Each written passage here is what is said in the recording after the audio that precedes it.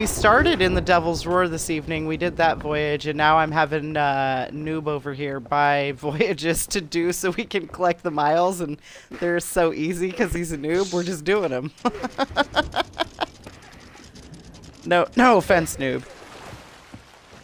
It's actually nice and relaxing. Yeah, that's pretty cool. Oh yeah, and there's a Reaper ship out here somewhere that wants to be our best friend. Can I kill him? Yeah. Hey, you can do whatever you want, Psycho. Like, you know me. I don't tell you what to do. Sweet, I can kill you. what all is on this island? Is it just skellies? Yeah, I'm not sure if it's one or two. Boo barrel! Oh, thank you.